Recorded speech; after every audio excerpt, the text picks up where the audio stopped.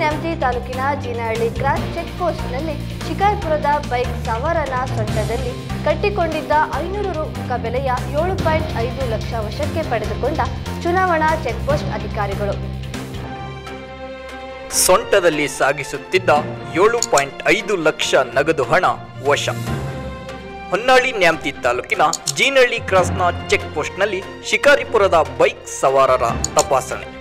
ದ್ವಿಚಕ್ರ ವಾಹನದಲ್ಲಿ ಇಬ್ಬರು ಸೊಂಟದಲ್ಲಿ ಐನೂರು ರೂಪಾಯಿ ಮುಖಬೆಲೆಯ ಒಟ್ಟು ಏಳು ಪಾಯಿಂಟ್ ಐದು ಲಕ್ಷ ರೂಪಾಯಿ ಇಟ್ಟುಕೊಂಡು ಸಾಗುತ್ತಿದ್ದನ್ನು ಹೊನ್ನಾಳಿ ನ್ಯಾಮತಿ ತಾಲೂಕ್ ಜೀನಹಳ್ಳಿ ಚೆಕ್ ಪೋಸ್ಟ್ನಲ್ಲಿ ಅಧಿಕಾರಿಗಳು ಪತ್ತೆ ಮಾಡಿ ಹಣವನ್ನು ವಶಕ್ಕೆ ಪಡೆದಿದ್ದಾರೆ.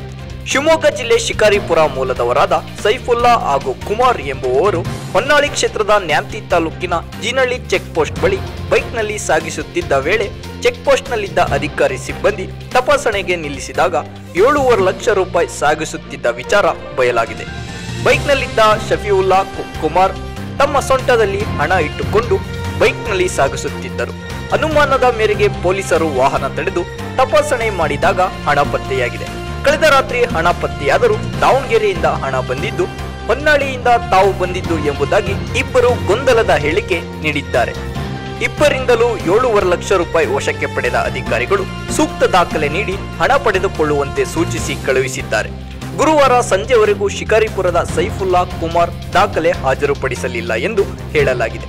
ಹಣವನ್ನು ತಾಲೂಕ್ ಖಜಾನೆಯಲ್ಲಿರಿಸಿದ್ದು ಗುರುವಾರ ಸಂಜೆವರೆಗೆ ಶಿಕಾರಿಪುರದ ಸೈಫುಲ್ಲಾ ಕುಮಾರ್ ದಾಖಲೆ ಹಾಜರು ಪಡಿಸಿಲ್ಲ ಸಿಪಿಐ ಸಿದ್ದೇಗೌಡ, ಚುನಾವಣಾಧಿಕಾರಿ ಸುಧೀರ್ ಹುಲ್ಲುಮನಿ ತಿಮ್ಮಣ್ಣ ಸಿಬ್ಬಂದಿ ಇದ್ದರು.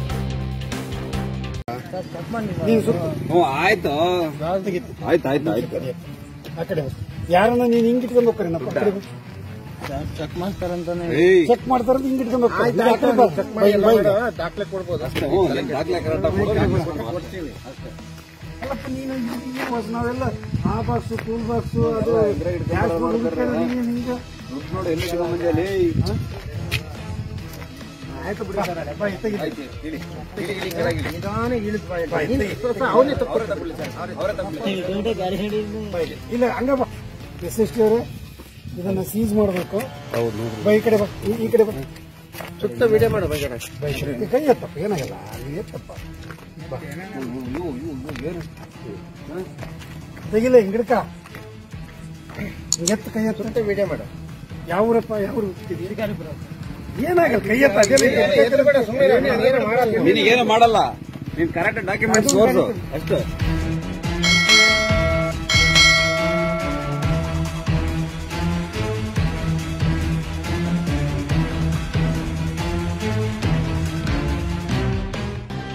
ಇದಿಷ್ಟು ಇವರೆಗಿನ ಪ್ರಮುಖ ಸುದ್ದಿ. ಹೆಚ್ಚಿನ ವರದಿಗಾಗಿ ನೋಡ್ತಾ ಇರಿ ಧ್ರುವ ಟಿವಿ. ಇದು ನಿಮ್ಮ ಧ್ವನಿ